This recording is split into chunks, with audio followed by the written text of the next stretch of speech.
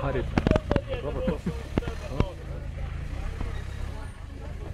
Pomoć. Pomogłeś mu w kartę.